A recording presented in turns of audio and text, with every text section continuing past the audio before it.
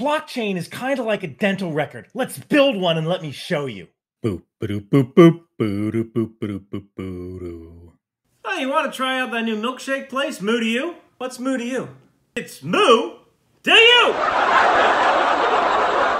got really good milkshakes. Yeah, I, I got that without the charades. I, I'm, I'm helping Kramer out with his Bitcoin rig. What is the deal with Bitcoin? What's the deal with Bitcoin? It's money out of nothing. Money out of nothing. Out of nothing, Jerry! How do you make Bitcoin out of nothing? Ah, you see, Jerry, people pay each other with nothing. and when they pay each other, that transaction information gets put onto the blockchain, which is really just a record of who paid who with nothing. As Bitcoin miners, Kramer and I, we go onto the blockchain and we hash it. And we're trying to find a value called a nonce. The nonce is nothing. No, no, no. The nonce is actually something, Jerry. The nonce is the most important part. You see, the nonce is a number when combined with the hash from the blockchain gives you a certain number of zeros. When we get that information, we give ourselves Bitcoin. So Bitcoin is a currency about nothing. I've waited for this moment all my life, Jerry.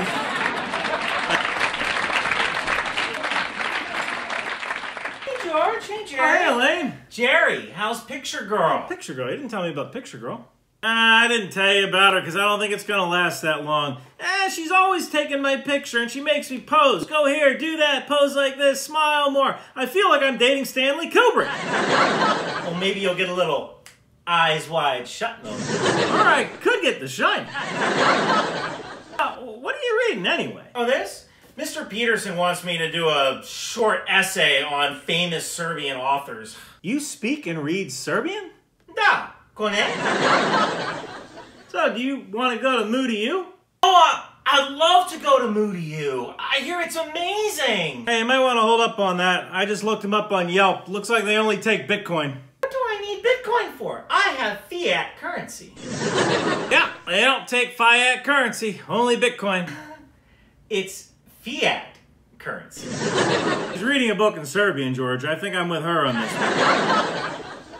So do you think you can give me some uh, Bitcoin to go to Moo to You? Yeah, sure. Uh, about 10 bucks will do it. I thought Bitcoin was a currency about nothing. But you gotta pay money to get the nothing.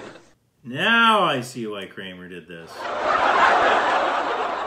Okay, the code for this example is available on my GitHub or my website down below. Uh, feel free to like and subscribe or leave a comment down below if you got a question, and feel free to connect with me on LinkedIn or Twitter. So, blockchain, NFTs, and cryptocurrency are really big right now, but would you be able to talk about these subjects in an interview? So, I actually built a simplified blockchain, NFT, and cryptocurrency miner in C Sharp.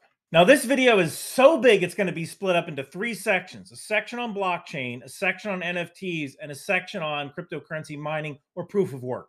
Now, what I constructed isn't the actual blockchain or Bitcoin proof of work algorithm. In order to do that, we'd need transaction pools and wallets and encryption. But what I created is simplified so you can kind of understand what is going on. That way, if you're ever asked to describe it in a job interview, you can do so.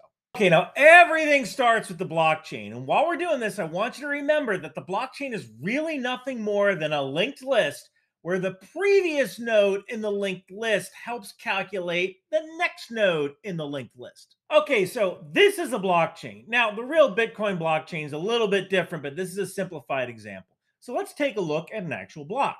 Okay, so here's a simplified block. It's got a block hash, a previous hash, a nonce or number only used once, and some form of data. Now, when we're constructing the current block, we always know the hash of the previous block. That's going to be vital to constructing the current block. The nonce is used as a small measure of randomness. Don't worry too much about the nonce right now. We're going to get to that in part three of the video when we deal with the advanced proof of work algorithm. But right now, the nonce is always going to be zero. Now, here's what happens when data comes into the block. Okay, so we have our data we take the previous hash, the data we just got, and the nonce, and we smoosh them all together in a hash. This results in a new hash.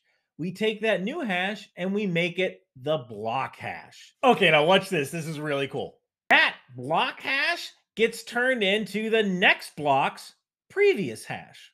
The new hash building on the old hash is the chain in the block chain. Now, I've been saying the word hash a lot, so let me just talk about it so you can understand how important it is to the whole process. So, a hash is nothing more than a mathematical function that generates a set of fixed text. And as long as this item that I'm inputting is the same, the hash will always be the same. But if I change one single thing, that hash is different.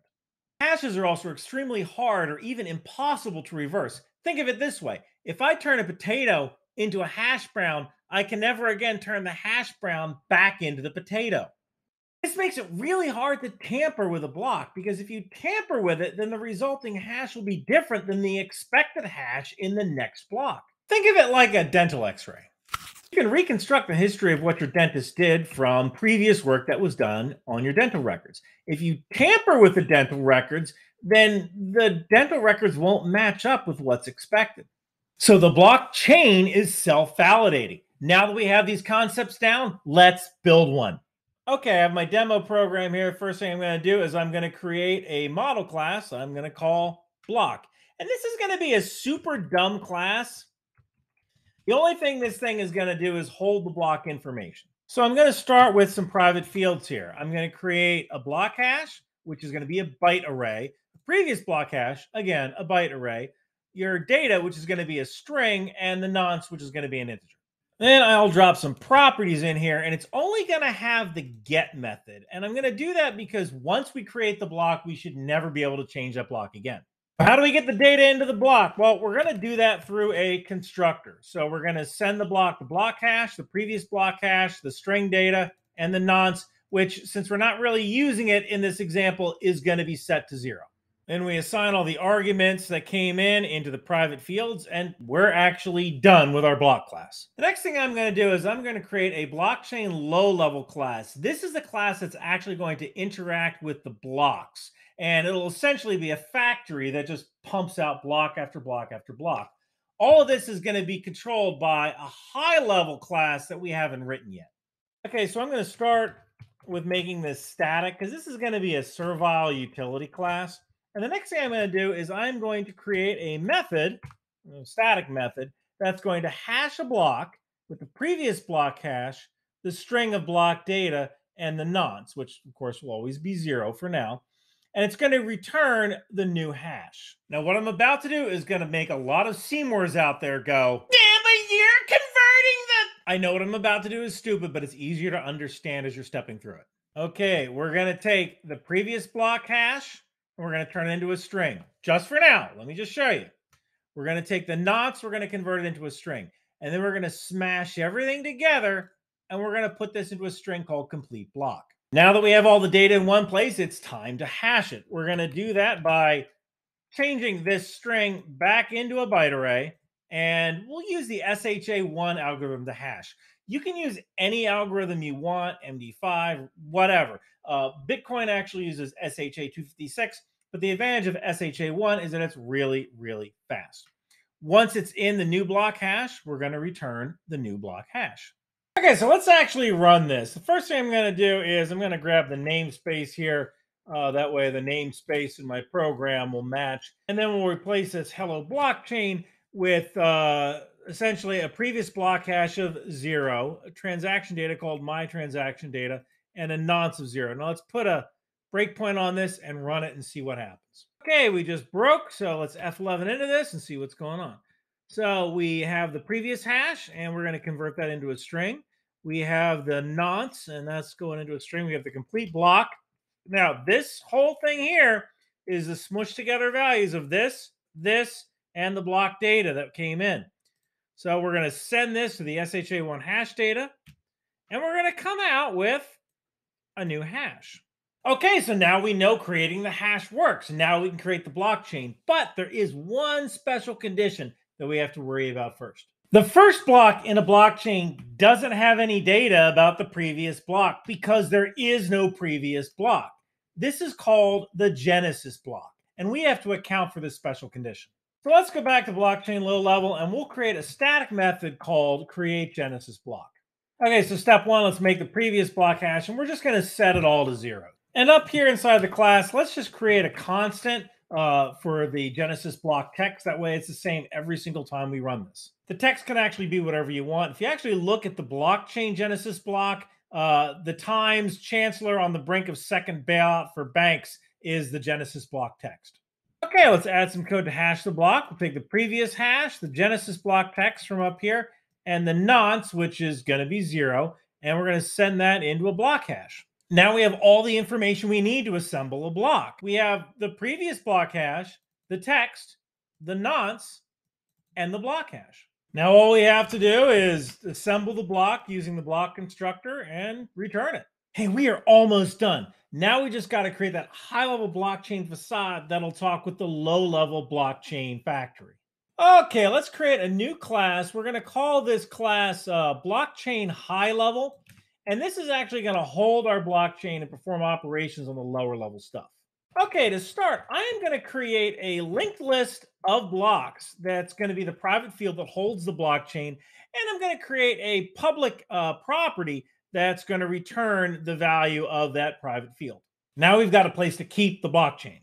Now for the high level constructor, I'm going to drop in a constructor that will create a new instance of the blockchain.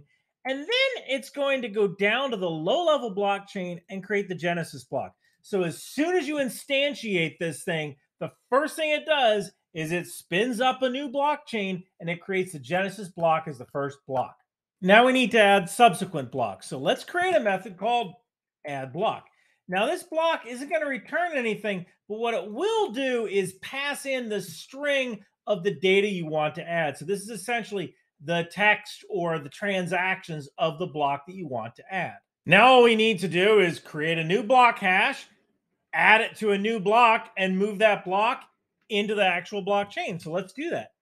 So we'll create a new hash block from the last value of the blockchain. And since there's only one value, that's going to be the Genesis block, we're going to take the data we have to add and the nonce. That'll give us the new block hash. We take this new block hash and we create a new block out of the new block hash, the blockchain's last value, which again is the Genesis block, and the data to add is text.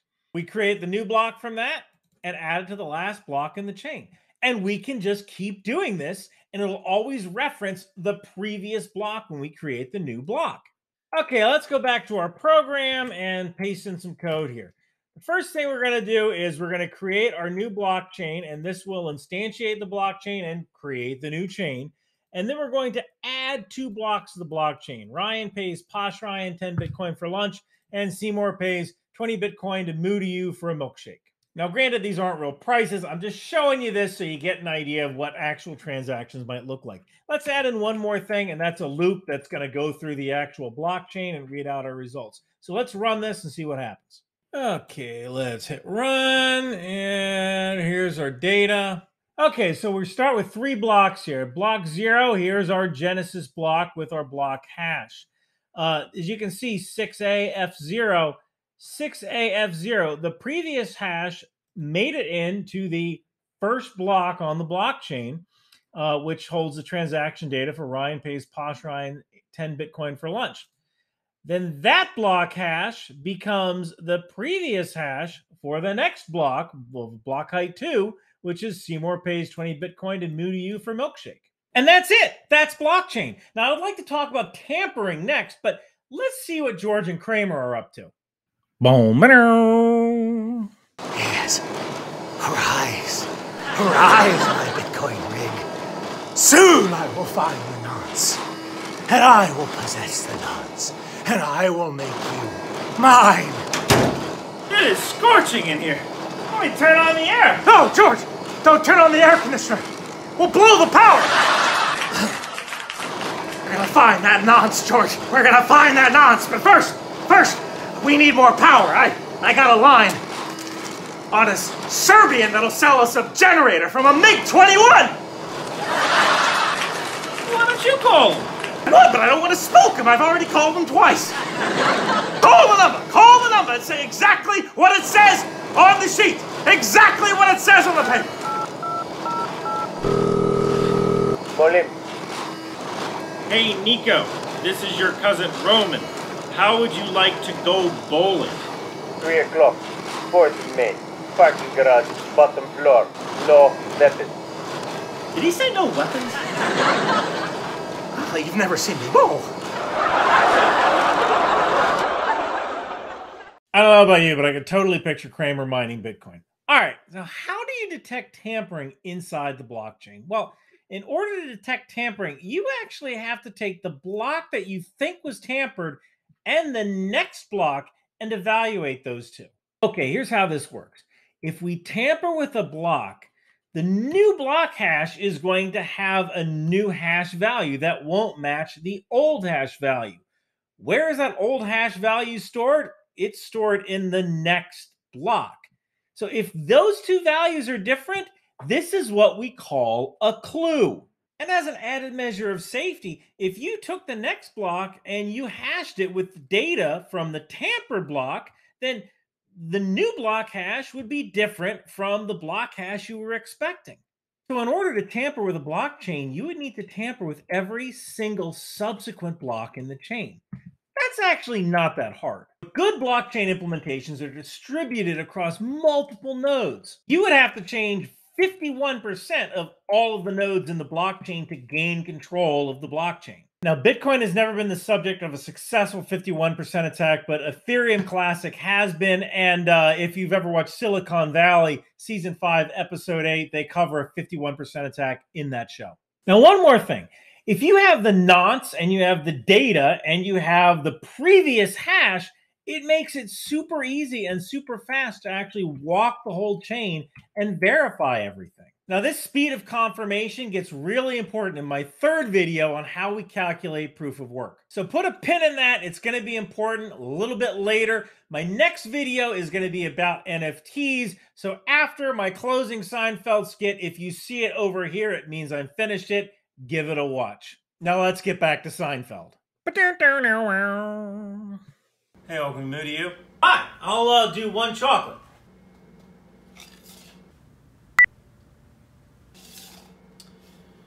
What can I get you? Hi, one chocolate with whipped cream, please. No cash, only Bitcoin. Oh, oh, this is Bitcoin, only in paper form. You see, this is fiat currency that was issued by the full faith and credit of the United States government. So you can use this money to buy Bitcoin. No cash, only Bitcoin? you see, I think between you, me, and Alexander Hamilton right here, you're gonna get me that milkshake. I didn't get my milkshake. I'll never be satisfied. I just don't know how to say no to this. I don't know how to say no to this. I threw away my shot. Well, you'll be back.